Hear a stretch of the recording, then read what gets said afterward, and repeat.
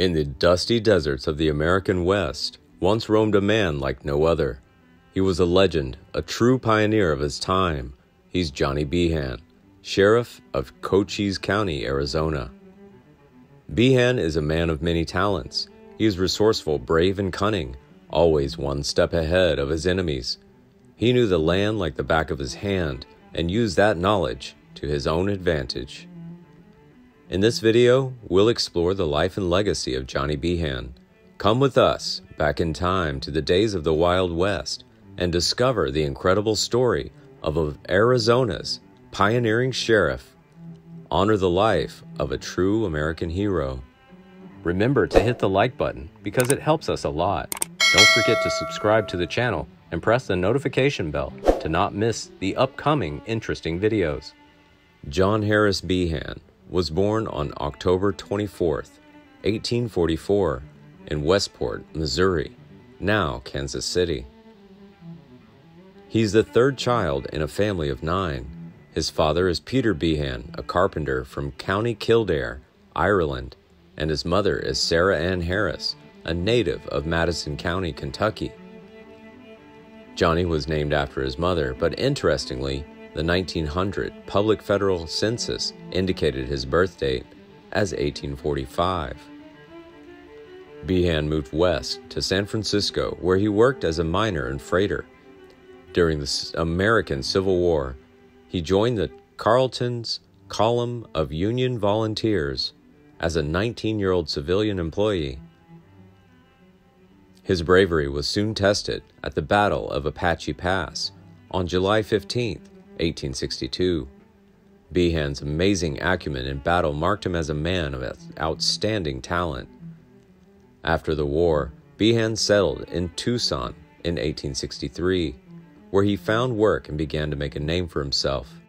In 1864, he served as secretary to Arizona's first legislative assembly in Prescott, the territory's capital. This brought young Behan, then 19, into contact with some of the most influential men in the state.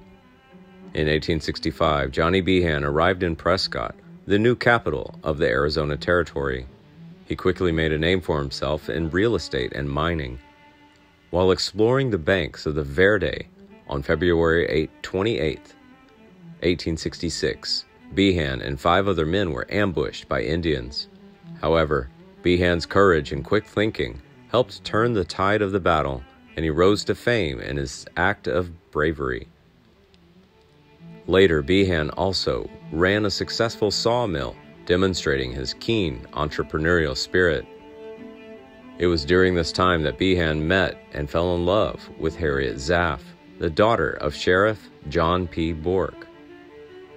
In 1866, Behan was appointed sheriff of Yavapai County by his future father in law, John P. Bork.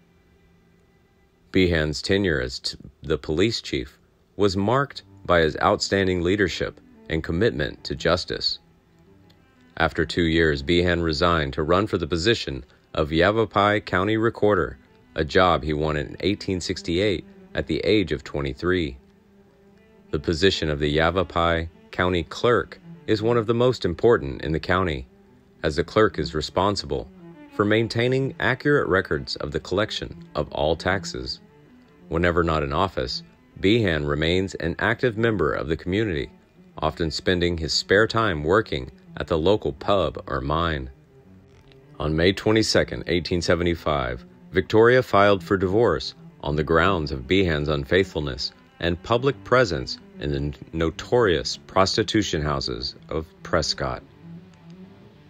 News of their divorce spreads quickly, tarnishing Behan's reputation and making him the laughing stock of the town. The once respected police chief has fallen from grace.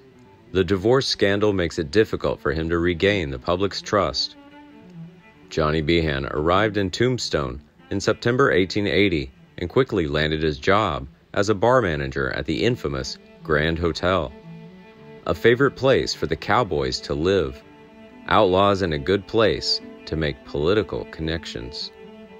He also became a co owner of the Dexter Livery Stable with John Dunbar, which supplies horses to local entrepreneurs. During this time, Behan became famous for grafting and was uh, considered the leader of the 10% ring mission. Allegations of corruption and bribery frequently surfaced during his tenure as police chief. On January 31, 1882, Behan was arrested for collecting $300 bills twice and charged before Justice Stilwell, but was discharged for technical reasons. In 1882, after the South Pacific Railroad completed the tracks and built facilities throughout northern Cochise County, Behan valued them at a staggering $8 million before the surprise of the supervisory board. Ultimately, the rating was reduced to $1 million, bringing the amount Behan received down to $25,000. These incidents are a testament to Behan's corrupt ways and the complexity of Arizona's political and law enforcement systems of the time. The people of Arizona deserved better than officials who prioritize their interest over those they must serve and protect. In August 1881, Behan fired his deputy, Frank Stilwell, for accounting irregularities. Stilwell was arrested by a combined federal team and a sheriff a month later for a robbery at the Bisbee stage, an act that would indirectly lead to the OK Corral gunfight. Behan played a key role in the events leading up to the infamous gunfight at the OK Corral on October 26, 1881. By city ordinance, he attempted to disarm the armed cowboys. Despite Behan's efforts to convince Frank McLaury, Frank insists that he will only give up his gun after Sheriff Virgil Earp and his brothers are disarmed. While Ike Clanton was preparing to leave town, Frank McLaury decided to stay behind to take care of some business.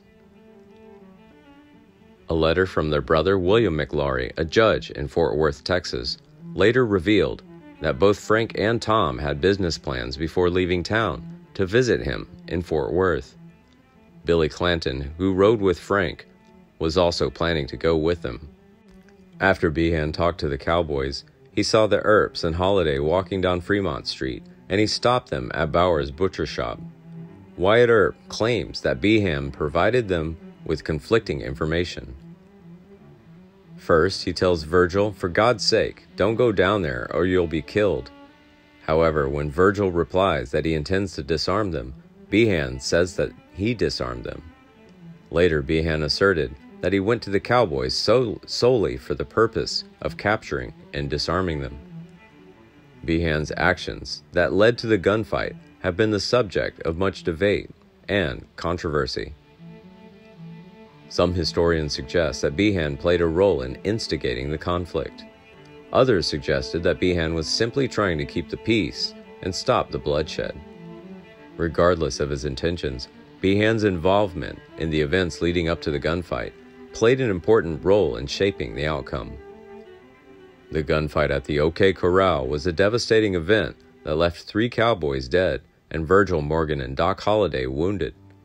After the gunfight, the lawmen were taken to their homes, and Johnny Behan, the sheriff, told Wyatt Earp he had to arrest him. Wyatt paused for two or three seconds and replied very wryly, I'm not going to be arrested today. I'm right here and going nowhere. You've lied to me. You told me these men were disarmed. I went to disarm them. Under territorial law, Ike Clanton filed murder charges against four lawmen, and Behan testified against the prosecution at the preliminary hearing, supporting Clanton's version of events. He testified that the cowboys did not resist and that they raised their hands and took off their coats to show that they were unarmed. Behan also testified that he heard Billy Clanton pled not to be shot because he didn't want to fight. He testified that Tom McLaury had opened his jacket to show that he was unarmed and that the first two shots were fired by Earp's group. He asserted that Holliday fired the first shot from a nickel plated revolver, but the coroner testified that Tom McLaury was killed by a shotgun blast. According to the court, Holliday must have walked down Fremont Street carrying a handgun set it aside to draw the pistol, fired the first shot, possibly at Billy Clanton, and then picked up a shotgun to kill Tom McLaury, all in seconds. Behan's sympathies with the Cowboys were widely known, and documents were discovered in 1997 showing that he served as a loan guarantor for Ike Clanton during the subsequent Spicer hearing. It was clear from Behan's testimony that he supported Clanton's side and his claims were highly controversial.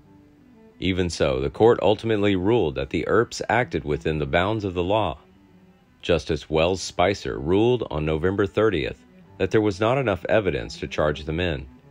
The OK Corral shootout remains one of the most famous gunfights in American history, and its legacy lives on today in movies, books, and popular culture.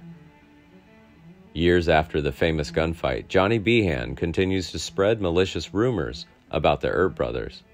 In an article published by the Washington Post on December 7, 1897, Behan was quoted as saying that the Earps were responsible for the brutal conflict at the OK Corral. According to him, Earps was pursuing the nefarious interests of the Clanton brothers and McLaury. And when they did not receive their fair share, they turned against their former allies and vowed revenge. Behan then claims that he and a team must kick Earps out of town to avoid further violence. John Behan breathed his last at St. Mary's Church in Tucson, Arizona, on June 7, 1912. His death was a great loss to the community, and his funeral was organized by the Arizona Pioneers Historical Association. The eulogy read out at the funeral acknowledged his important roles in society and described him as positive, loyal, and honest. The official death certificate lists arteriosclerosis as the main cause of his death. However, it was also revealed that he had con- contracted syphilis 30 years earlier while serving as Tombstone's sheriff. Information provided by his son, Albert, who was present at the time of his father's death. John Behan was buried the day after his death in Tucson's Holy Hope Cemetery.